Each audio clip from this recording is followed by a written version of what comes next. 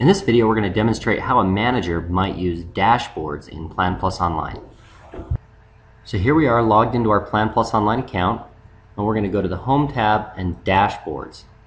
When this page loads up there's a few dashboards that are already in here, a couple of dashboards that will show you some things like activity by, by period and then you'll also see the option to create some additional dashboards.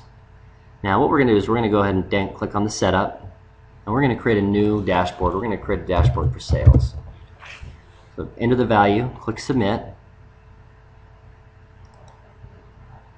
Go back into setup. Now on that sales dashboard, I have the ability to select various different widgets that I can add to that sales dashboard. So I'm going to add my opportunity pipeline and my sales stage and my sales stage by user to that dashboard.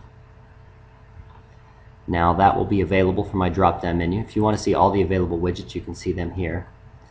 You have the ability to create some custom widgets as well. So this uh, this will be described in our reports section where you, where you can uh, create a custom widget from the reports and add those to this section as well. So these are the, the standard ones that I'm working with for this example. So now we'll go ahead and we'll select our sales dashboard. You may need to refresh the page. So here's our sales dashboard. This is just a demo account here, so a couple of sales stages. You can see my closed won value for this particular period. Now if you want to change the period that is described in this dashboard or even select individual users, you can select individual users from the dashboard here as well. Anytime you see a blue link like this, it means that that's clickable. So I can click that value and it will open up uh, additional information same thing goes over here. I can click on these and I can see additional information for any, any one of these.